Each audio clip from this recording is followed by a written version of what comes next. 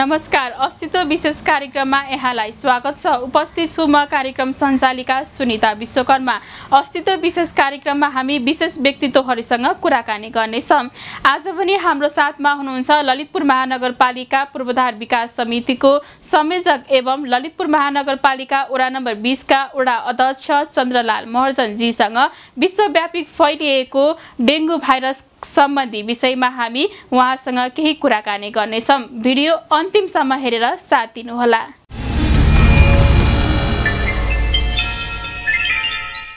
जुन यो श्रीलङ्का श्रीलङ्का हुँदै अब इन्डिया हुँदै चाहिँ हाम्रो तराईमा चाहिँ धेरै अगाडि अगाडि नै फैलेको यो रोग हो डेङ्गु भनेको।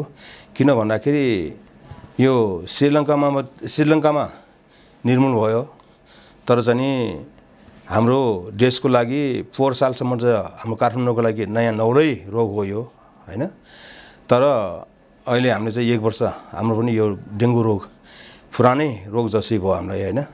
अहिलेसम्म पनि जुन यो चाहिँ ललितपुर महानगर भित्र भनौँ न हाम्रो चाहिँ महानगरभित्र अहिले डेङ्गुको त्यति अहिले प्रकोप देखेको छैन होइन? सायद नआउन भन्न सक्दैन किन भन्दाखेरि काम पानी त्यतिकै भइरहेछ। काम अब चाहिँ अब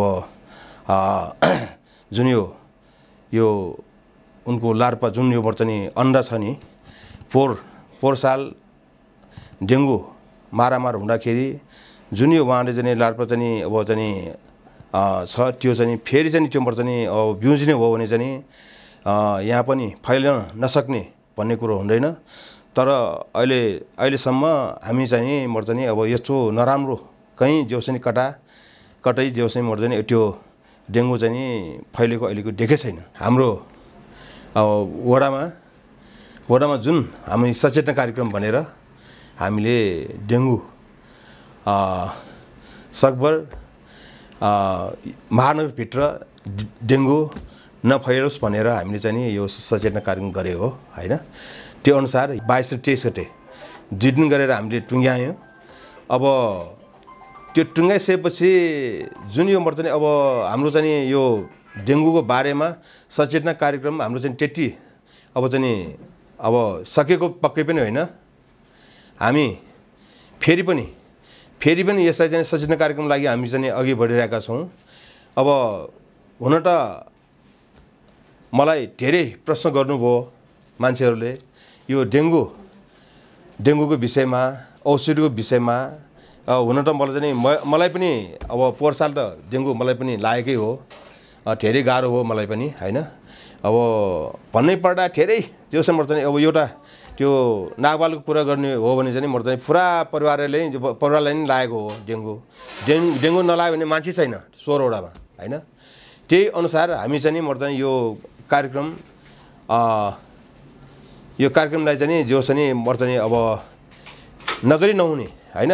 अब चाहिँ नि जो छ नि मर चाहिँ अब यहाँ हाम्रो वडामा धेरै पुरानो बस्ती हो पुरानो मान्छे बसोबास गर्नुहुन्छ यहाँ। धेरै मान्छेले थाहा हुँदैन। त्यही अनुसार हामीले चाहिँ नि सकभर हामीले भएसम्म अब हाम्रो वडाको चाहिँ नि एउटा अब कर्तव्य कर्तव्य पनि हो।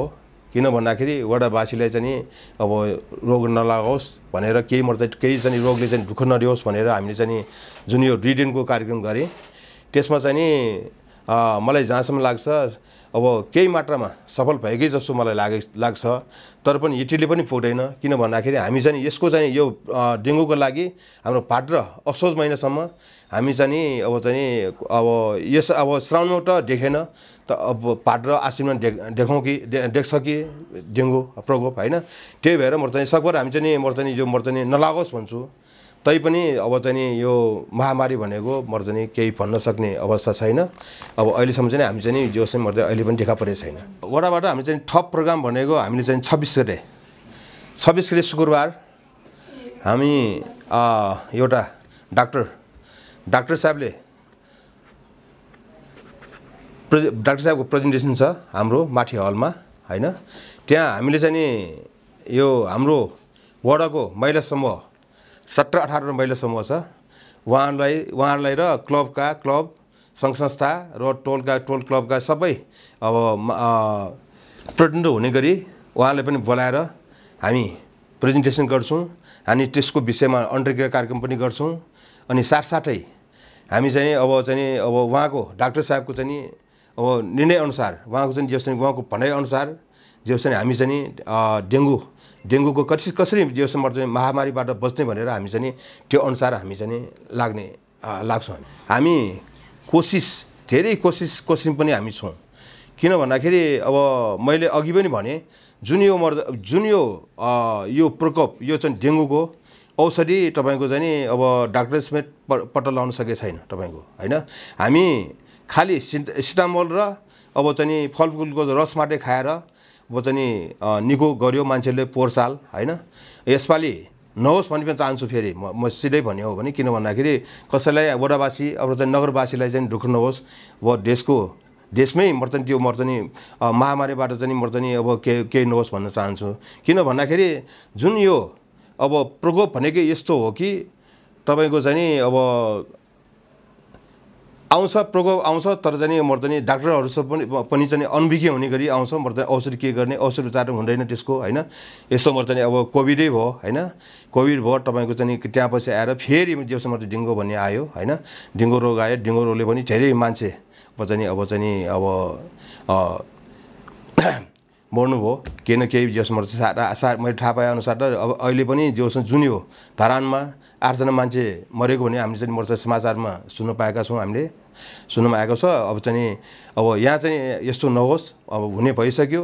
तर चाहिँ म चाहिँ यो म चाहिँ नेपाल अधिराज्यमै यस्तो चाहिँ दुःख घटना नहोस् भन्न चाहन्छु होइन वडा त वडा त लाग्ने नै भयो। तर अलिकति अलिकति वडावासी पनि सटक हुनुपर्छ जस्तो मलाई लाग्छ। किन भन्दाखेरि जुन हामीले अब चाहिँ यसो यसो नगर नगर्नुहोस् होइन? तपाईँ सचेत हुनुहोस् भनेर हामी चाहिँ मर् चाहिँ यो मर् चाहिँ टोल टोलमा चाहिँ हामी चाहिँ सचेतना कार्यक्रम राखेको हो। पानी नजन्म नजन्माउनुहोस् किनभने त्यसमा चाहिँ लाप्रा उठाउनुहुन्छ लाप्रा उठाउनुहुन्छ भनेर हामीले चाहिँ भन्दै आएका छौँ घर घरमा गएर होइन? किन भन्दाखेरि मर् चाहिँ अब मैले अघि पनि भने मर् चाहिँ अब धेरै यहाँ नबुझ्नेहरू पनि त्यतिकै छ होइन?